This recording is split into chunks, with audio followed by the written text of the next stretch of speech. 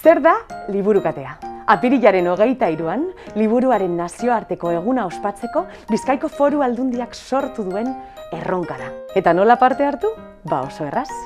Gomendatuko zenuke liburu baten bideoa edo argazkia sare sozialetara igo eta norbait desafiatu. Besterik ez. Nik ere, liburukatea ekimenean parte hartzen dut. Eta gomendatzen dudan liburua, Nunca serás un verdadero gondra da. Eta desafiatzen dudan pertsona, Lander Otaola. Eta zeuk, ze liburu gomendatuko duzu. Parte hartu liburukatea erronkan.